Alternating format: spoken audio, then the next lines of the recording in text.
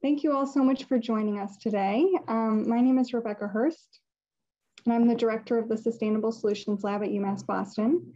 The Sustainable Solutions Lab, or SISL as we like to call it, is a research and action institute on campus. We're focused on um, keeping historically excluded people and communities safe and healthy in the face of our changing climate.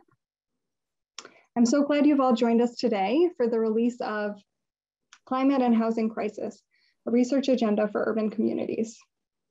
This is a Lincoln Institute of Land Policy working paper that was developed in partnership with SISL. I'd like to start off today with a land acknowledgement. While I know people are zooming in from all over, I am currently on the traditional homelands of the Massachusetts people, who are the traditional stewards of this place and are still here with us today. And I'd also like to acknowledge their near neighbors, the Nipmuc and Wampanoag peoples. So with that, I will hand it over to Amy Cotter, our key partner with the Lincoln Institute of Land Policy, and we will get started. Thanks again, everyone, so much for joining us. Thank you, Rebecca. Um, I'm Amy Cotter, Director of Climate Strategies for the Lincoln Institute of Land Policy, um, which has as its mission to improve the quality of life and quality of place through the effective use, taxation, and stewardship of land. Uh, we do that in service of six goals that include fostering low carbon, climate resilient places, equitable tax systems, and reducing spatial inequality. Um, holding all of those goals simultaneously means we need to look for synergies in solution spaces.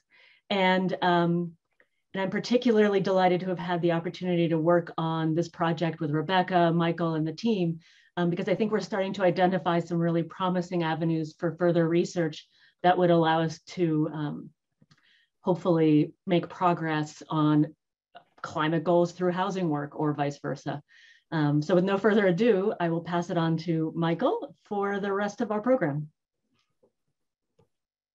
Yes, thank you very much, Amy.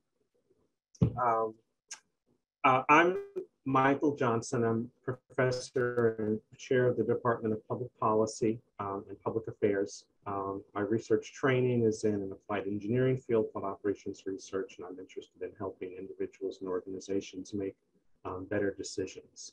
Um, it's been a pleasure to um, uh, work with Lincoln Institute uh, of Land Policy. Really grateful um, for the encouragement and support I've gotten.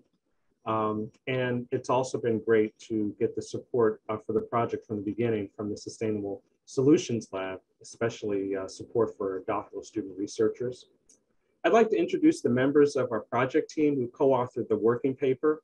And as I do so, I'd like to encourage each of you um, in the larger participant audience to introduce yourself to all of us in the chat. And if you'd like to rename your Zoom name to add your professional affiliation. Patricio Belloy, you can raise your hand, is a doctoral candidate in the public policy PhD program here at UMass Boston. His research explores how environmental, energy, and climate policies can concurrently promote needs-based community development through meaningful engagement and knowledge co-production. Heather MacLean, you could raise your hand, is a graduate of the Urban Planning and Community Development Master's Program at UMass Boston. Her professional interests are developing strategies to um, develop neighborhoods without displacement, and improve food access for all residents. Sajani Kandel is a doctoral candidate in the environmental sciences PhD program at UMass Boston.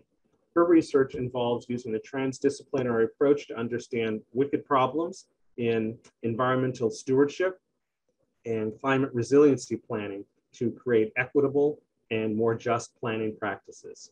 Um, thank you, Patricio, Heather, and Sajani for all you've done. I'd like now to uh, transition to um, a brief presentation of the working paper itself. Um, that will be followed by um, uh, brief remarks and discussion.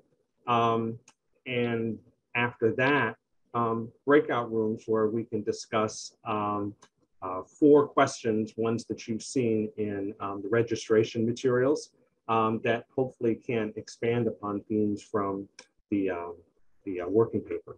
So I will uh, share my screen. So um, as I've said, uh, it's um, myself, Patricio Loy, Sajani Kandel, and Heather um, MacLean um, who have who are proud to present this working paper to you. Patricio will discuss um, a part of the working paper farther into the presentation. Uh, we're going to describe a project supported by Lincoln Institute of Land Policy and Sustainable Solutions Lab um, to explore the impacts of the housing affordability crisis and the climate crisis, amplified by the COVID-19 pandemic and policy and planning responses to this crisis. We started this work by recognizing uh, no single body of research or municipal plans that respond to both of these crises together. And we wanted to develop a research initiative that uh, emphasized equity, a critical approach, and racial and social justice.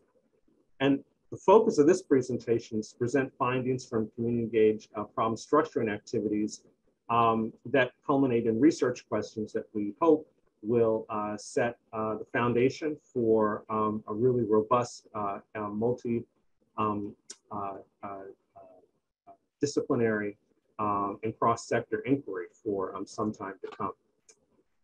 All of us remember, I think, the extreme weather event of late summer that spread rain and high winds throughout a wide swath of the South, Southwest, and Northeast in the space of just a few days. Ida caused over $50 billion in damages and an estimated 96 direct and indirect deaths. The majority of deaths and damage from this event, first a hurricane, then a tropical depression, occurred in the Northeast, where Ida was the third tropical storm in three weeks. The damage occurred primarily via flash floods in urbanized areas. Uh, damage in the Northeast occurred primarily via flash floods in urbanized areas and tornado outbreaks. And for me, it was, uh, and for many of us, it was very surprising to see how quickly our transportation systems were overwhelmed. Most shocking were reports of people drowning in their homes as the waters rushed in. Imagine the horror felt by those in basement apartments in New York City and those in New Orleans who died from heat exposure after the electricity grid failed. Most news accounts didn't mention a connection to climate change, but Al Roker's remarks were a prominent exception. Ida may have brought home for many of us the interconnectedness of the housing and climate crises. Storm damage and deaths may have been easier to accept in places traditionally seen as vulnerable to hurricanes, but seemed uh, devastating much closer to home. The connections between housing unaffordability, climate change impacts, and COVID-19 for low and moderate income communities and communities of color can be visualized in a dramatic way. Climate change represented by extreme weather events can result in health impacts such, such as psychological distress and allergies and asthma exacerbated by climate change, as well as lack of public spaces to cool down during heat events. Those impacts can increase vulnerability to COVID-19 infection. In turn, the COVID-19 pandemic has resulted in extreme health impacts, as well as job loss. This financial insecurity amplifies a variety of financial costs and burdens, such as using air conditioning for heat relief, and introduces housing insecurity, which amplifies the effects of the ongoing housing crisis. Moreover, housing market changes can increase the risk of displacement. Adaptation and mitigation efforts by property owners, as well as gentrification related activities, can generally increase housing expenses and increase housing insecurity. This research project brings together knowledge from multiple disciplines, public policy, urban planning, environmental science, and decision and data science. Our work is fundamentally a transdisciplinary effort, and I'll turn it over to Patricio to describe this. Hey, uh, hello everyone. My name is Patricio, as Mike already introduced me. And I just want to show something that, yeah, probably some people say, okay, now the academia people starting with their, you know, schemes and so on. I'm sorry if, if this is uh, looks a bit confusing, but the challenge we had um, during the project, right, was to harmonize, um, you know, and we noticed this during the discussions, um, some empirical knowledge that we saw uh, um, some, uh, you know, even informal non-expert knowledge with expert knowledge. And also we had the issue that some people said after the convenings we had that, um, you know, some of the participants were at the very high level, right? We were talking about um, a new way of looking at uh, a new paradigm, right? Uh, ways to, you know, um, put, uh, put a, um, I don't know, social, social justice at the center, while others were more focused on pragmatic solutions, right? Developing new technologies and so on. So how can we see this as a, as a system? We, we started asking ourselves. Um, although I, I knew this uh, framework from, from before, it was Sajani Kandel from our team who came, who connected all of this. This is a model, this is called the transdisciplinary pyramid from Max-Neef and based on the work of other researchers in which we basically um, try to see what are disciplines that are at the empirical level in the work we are doing, right? How do we know what we know? Um, and what are disciplines that using that empirical uh, information, right, uh, are at the pragmatic level. So how do we do things? What, what are the things we can do? We identified all of that right in the, in, a, in the data collection we, we made. But there's then another level called the normative level, in which we also try to organize all of that pragmatism, you know, how, how we do things. And then the conversation also flowed at the value level, meaning the ethics, the philosophy. So we try to highlight, right, how this value level, being present, being well-defined, can be mainstreamed into the policy level.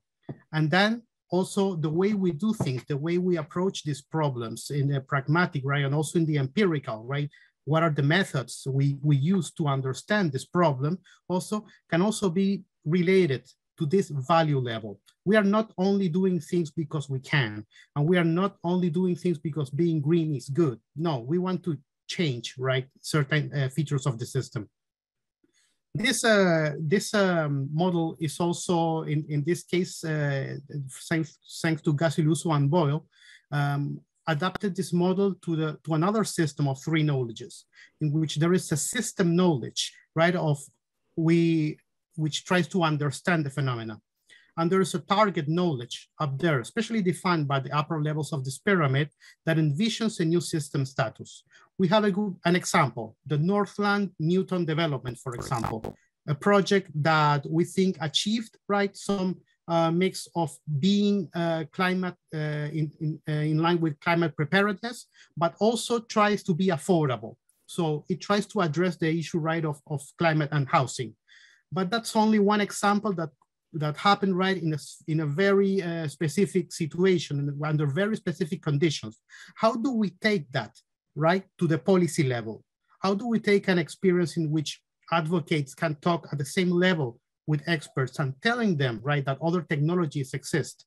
How do we actually get there? It is through tra transformative knowledge or how or, or trying to change the system as a whole. Thank you so much. Yeah, thank you, Patricia. The data for our project came from three sources. The first was interviews with scholars, housing developers, advocates, and funders between December 2019 and January 2021 to learn about specific initiatives to address the housing and climate crises. The second source uh, was a community town hall that took place in J July 2020 to learn the stories of community residents in Boston who are facing the housing and climate crises in the midst of the COVID-19 pandemic. The third data source is a convening of academics, practitioners, funders, and advocates in August 2020 to learn how we frame and ask questions about the housing and climate crises, to learn how climate-focused policy instruments can address housing needs, and ways to align priorities of housing and climate advocates to put vulnerable communities at the center of politics and policy. Our interviews, town hall, and convening generated a wide range of insights about how stakeholders experience the housing and climate crises and generated a number of research and practice opportunities. So among these findings I'd like to emphasize are the distress felt by low and moderate income communities and communities of color in the face of these crises, the innovation embodied by a few distinctive climate-ready projects and the question of whether these innovations can be adapted, the technical, administrative, and financial challenges of responding to these crises, the importance of community engagement at all stages of the problem solution process, and the opportunities to amplify our impact by putting the needs of traditionally marginalized communities at the center of our work. Our analysis uh, in the service of developing a research agenda yielded three broad research questions. And uh, each of these have different um, academic connections uh, and different practitioner connections as well, and they reflect a variety of themes that came up through our research. The first one uh, is what uh, community characteristics can support successful implementation of residential development projects that are affordable and sustainable. And the motivation for this question was our realization there might be substantial barriers to replicating or adapting successful efforts in affluent, more affluent, politically influential communities uh, to meet the needs of less affluent and politically influential communities. This question, I think, is most central to our problem structuring project. It reflects themes that occurred across all of our data gathering activities and reflects the potential for robust academic findings. The second research question arose from our awareness of managerial, technical, and financial challenges associated with development of affordable and sustainable housing.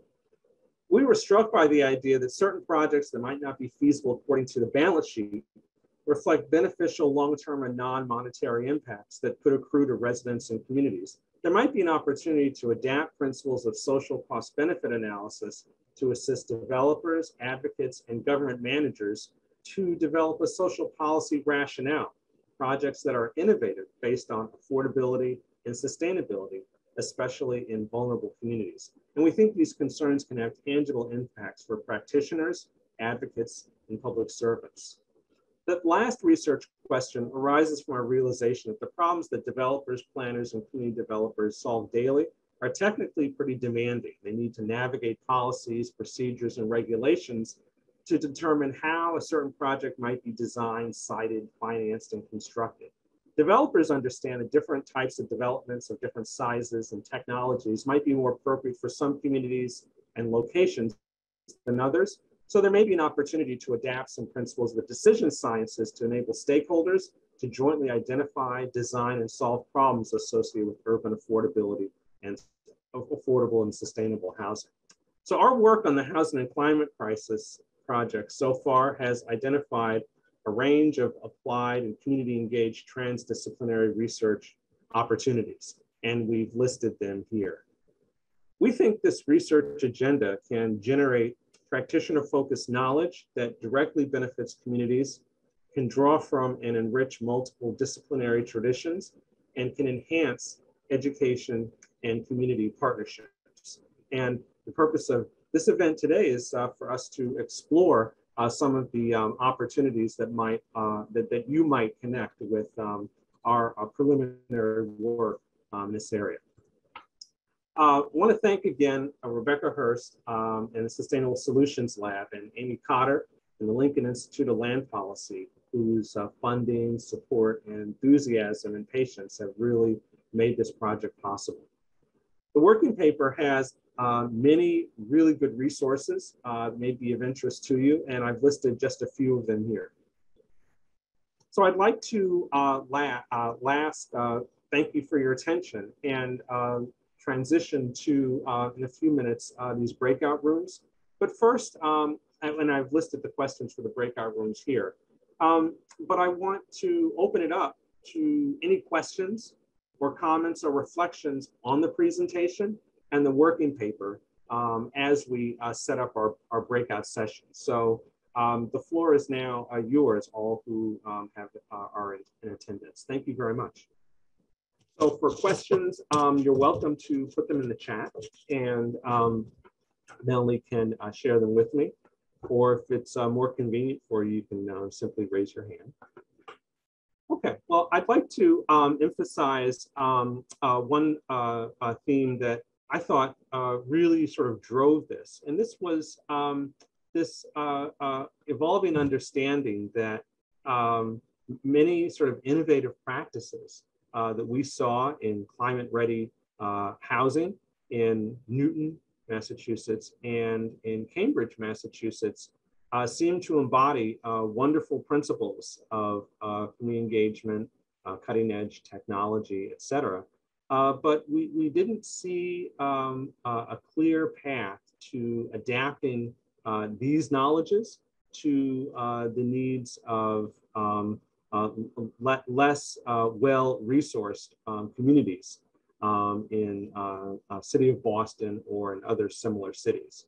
And uh, we were struck that we didn't see as many, um, uh, as much evidence of this cutting edge work in a number of development projects that are going on in Boston now.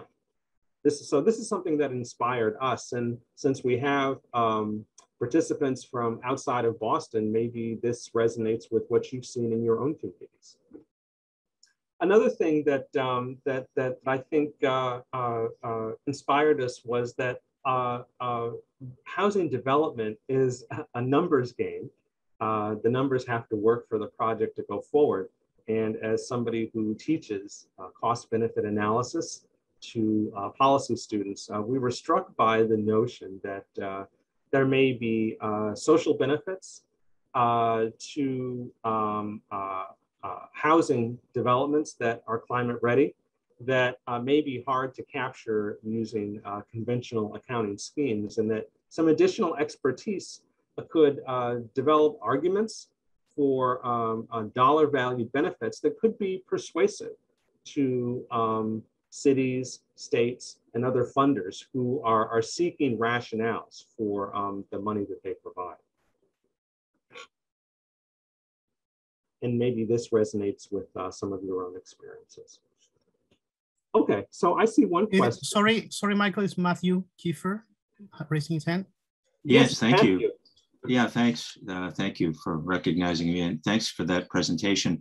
You know, Michael, you just touched on an issue that I'm very curious about um, on cost benefit analysis as a tool and especially, you know, where the costs are dollar costs and the benefits are social benefits, you know, you have this kind of apples and oranges problem of how do you quantify those social benefits how do you turn them into dollar value so you can compare them against dollars? Or is that even a useful exercise? Does that sort of compromise the, way social benefits are perceived to turn them into dollar figures? Uh, there may be uh, other there may be other economists in the audience. I'm not an economist, but uh, the way I understand uh, cost benefit analysis is that there are a number of ways to estimate uh, uh, the uh, dollar value equivalents to certain kinds of impacts or to elicit from stakeholders their assessments of the value that certain kinds of interventions uh, can provide to them or to their communities. So for example, um, in transportation projects, there are certain kinds of shadow prices or well understood dollar equivalents um, for certain kinds of um, interventions. Dollars per uh, hour of additional uh, product, productivity time or leisure savings. So there are ways that you can put dollars on uh, increased um, uh, perceived quality of life, um, increased uh, satisfaction with the community, uh, decreased uh, fear of, of, vulnerability to climate events, et cetera. And um, these are certainly dollar impacts that uh, we can balance against the out-of-pocket costs of building new infrastructure. Thank you. Um, let me see in the chat if there are any questions. Can you comment on how zoning impacts the interactions between housing development and climate impacts? Uh, the analysis I see of this often seem very simplistic, um, and I expect the issues are quite a bit more um, complex. Uh, I can't uh, I can't comment on this directly. Um, zoning is is not um, my expertise, um, but I think that we could think of it this way: that there are ways to uh, develop econometric models that um, can uh, relate uh, changes in uh, physical infrastructure, uh, changes in social infrastructure, and changes in rules like zoning to uh, changes in um, measures like um, property values or changes in other dependent variables like uh, vulnerable, uh, uh, uh, undesirable outcomes of extreme weather events. And there are ways then of assessing the relative impact, all other things being held equal, of certain kinds of changes in zoning as compared to changes in housing development standards or changes in climate impacts. Does that answer your question, Tom? Okay. Uh, Just regarding, sorry, Michael, the, the previous question on, on whether this research incorporates climate mitigation. Um, I think we, yeah, we that that's that's a challenge. That's something that we discussed a lot, right? While seeing what are these intervention actually doing. um, is, is this actually climate adaptation mitigation? That's a very old discussion. Uh, most of the interventions today try to, you know, uh, address both um, in, in some way, but uh, there's always a trade-off. Uh, the answer, the answer is, I guess, no, we, we did not. And uh, of course, this question is important. I think uh, we're, we're going to keep it because we should. yeah, thank you very much. Um, and so I would say that um, our, our, our first motivation was um, uh, adaptation, uh, understanding in the short term how um, neighborhoods, communities, and cities um, are acting to react to sort of immediate um, type events. Um, but we understand that uh, for different uh, kinds of communities, uh, mitigation may uh, take a higher, a higher profile at this point, um, I would like to transition now to um, our um, breakout rooms. And what I'm going to do is uh, share uh, my screen again, and then I'll, I'll close it down. But we have identified four questions that we thought um, could support uh, some uh, interesting conversation amongst all of us. And uh, we have uh, set up um, four, actually eight breakout rooms uh, two for each of these questions, and we've allowed um, each of you to uh, select the breakout room that you would prefer. And we have um, uh, uh, people ready to assist each of the breakout rooms. So I'll stop the share. And Melanie, would you like to open up the um, breakout room screen? And I think we'll uh, try for um, maybe, um, looks like around nine minutes for each of the breakout rooms. Hi, everyone. Um, thanks for coming back. Um, so I hope uh, your, uh, your, your teams had um, uh, interesting discussions.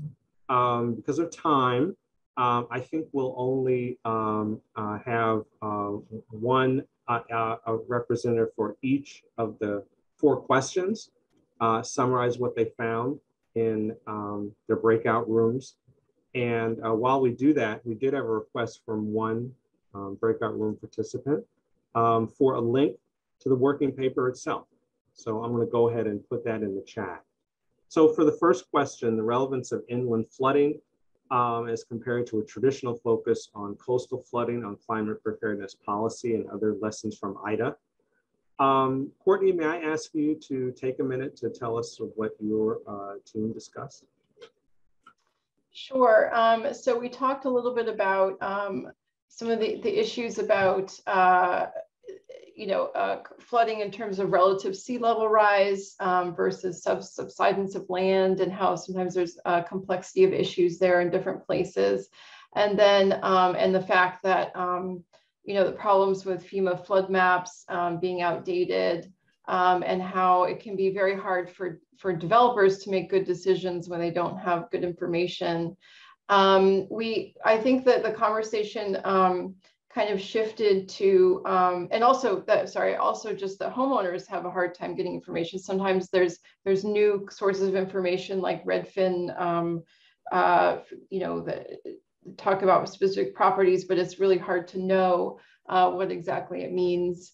Um, and then we this discussion kind of shifted to talking about inland flooding and how just really how so many of the places that we didn't associate with those kinds of risks are facing them now, especially with storms that kind of linger for a long time, cause a lot of rainfall. Um, so places that we didn't expect flooding, it's going to be increasingly more routine and it's a real challenge.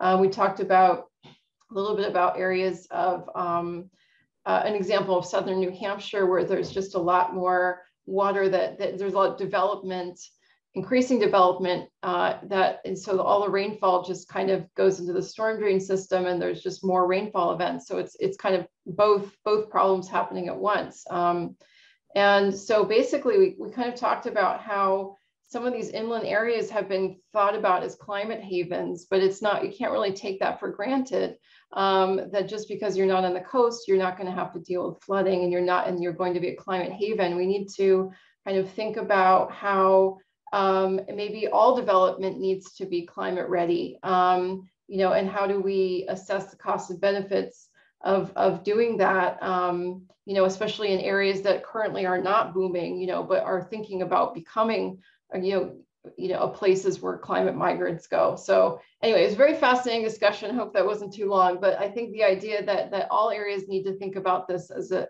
as an issue is, is a really interesting one. Thank you, Courtney. These are some really, um, really interesting topics. I appreciate that. Um, I'd like to move to the second uh, question. What are the key housing issues that should be mainstreamed into, into, climate policy and vice versa? What are the advantages and challenges associated with these alternative approaches? Uh, Heather, uh, I think your group talked about that. Um, we did, and Jane took um, our the notes for our group. Um, so, Jane, Jane, would you uh, Sure, sure. to summarize what we did?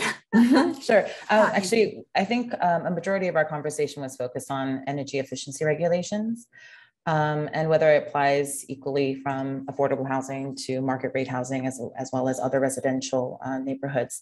Um, I thought that it was really interesting. They we had discussions on like LEED standards, which is applicable to more of the larger, uh, large scale um, res, uh, large scale uh, housing. That that we may not have the same regulatory standards for residential apartments and housing. And I think it was Emmy who mentioned that there are um, sort of uh, advances being made in residential labeling policies, which could actually help to promote um, some more um, energy efficiency as it relates to climate change. Other things that we mentioned was the language, whether or not we even have language for this, um, which would be, I believe, an indication of whether we're making progress in this field with um, applying these regulatory standards um, as well as some considerations for like, um, you know, health issues and uh, how it relates to housing as well as to climate change. So Great. that was it. Yeah, thanks. Thanks very much, Jenny. Mm -hmm. um, so the next, uh, the third topic was what experiences in developing climate-ready housing in more affluent communities can be adapted to the needs and resources of lower income communities and communities of color. So I think here we had one breakout room and uh, and I were in the same room. Uh, would you like to summarize or? Yes, I can go. Um, so we discussed uh, one of the one strategy that it's called um, low income, low impact development, um, which includes uh, simple strategies that involve nature itself to minimize impacts of climate change, such as extreme rainfall and floodings. And so it involves uh, less expensive, um, it's a less expensive strategy, which will make it more accessible. And so this is more of an infrastructural lens of, of and mitigation. And so we talked about how we can use uh, low impact development in housing um, in low income communities, uh, prevalently non-white communities, people of where people of color live. And the other thing that we talked about was retro, about retro, retrofitting current developments instead of um, starting new ones. And so looking at how existing uh, federal programs allow or does not allow um, expand the, expanding projects, uh, existing projects uh, to create climate ready housing. Yeah, that's yeah. what I got. Yeah, thanks. And I think I'd like to add that uh, it occurs to me that many of us may have experience of federal housing, large scale federal uh, uh, public housing uh, redevelopment in the 1990s that uh, resulted in lots of displacement. And hopefully, um, when we do more intensive um, retrofitting and rehabs, then we can learn from the lessons of previous public housing. So the last question was, uh, housing advocates and climate advocates may have access to different groups of policymakers and politicians. How could housing advocates and climate advocates perform their work together and whom should they target? And here we had uh, Sajani and Patricio assigned to two groups. Would either of you like to discuss the group that you were in? I can start. Well, it was a very small, intimate group of four people but one participant noticed there was another uh, participant there. It's the elephant in the breaking room. And it was the perception of people, right, that climate is associated to whiter and wealthier um, constituency, while housing is associated to people of color, social justice advocates, and low income. So there are, you know, um, there are not many venues in which they they meet. But there was there has been, and uh, remember the S10 bill that uh, proposed an uh, increase in the tax excess of the property transfer some uh, years ago, right? Where housing and climate advocates came together. Ideally, right, these venues may repeat. Um, someone also mentions, right, that for affordable housing advocates, the, the climate change issue is becoming unavoidable. So it's uh, it's important, right, for them to have these uh, these settings where they can get to know the work of of, of others. Uh, we also asked uh, ourselves about what are experiences in other states, right, where housing advocates and climate advocates are getting together. And um, maybe if I am forgetting something, uh, someone from the group can help me. Okay, that's it. Okay, well, thank, thank you very much, Patricio. Um, in the few minutes uh, we have left, um, so I want to thank you so much for um, taking time to attend the presentation and participating in the breakout room discussions. Um, they, have been, they've been really rich. Um, I'd like to propose a few questions that can help us take what we've learned during the session and move our own research and practice agendas in new um, and interesting ways. You know, this is a very early stage in this research, and um, I may not be alone in um, uh, looking for partners, uh, collaborators, um, community uh, co-creators, clients uh, who want to um, develop knowledge um, and generate solutions uh, for the problems that we've put out there. So one kind of question that we could uh, we could leave with is what does housing and climate crisis mean for different cities, regions, and so we can learn from each other's experiences. My work is inspired by the place I live, Boston, Massachusetts, but it's certainly not limited to it. And I think it'll be fascinating to know how what we have talked about is refracted through our own um, experiences. Um, there are lots of potential um, promising next steps. These could include things like pilot studies, um, symposiums, class research. Um, there are lots of graduate student interns at UMass Boston who would um, look forward to the opportunity to work with your um, organizations or agencies or institutions. There's the possibility for policy roundtables um, and joint um, collaborations on proposals um, to various funding organizations. So um, at this point, I'd like to open it up to any ideas reflections that any of you may have on how we can um, move this agenda forward.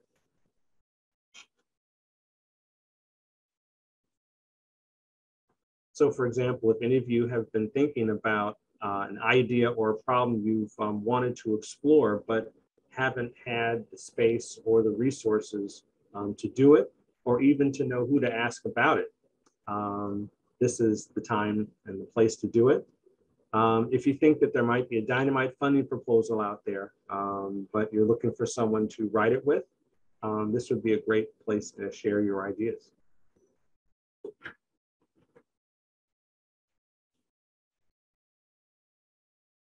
So I'd like to leave you with this thought that, um, um, so this project has been an amazing learning experience for me about uh, the resources, um, the impact of the uh, Lincoln Institute uh, of Land Policy. Um, if you go to their working paper page, there must be over 100 working papers. Um, so there are so many scholars in so many fields who are doing work in spaces related to ours.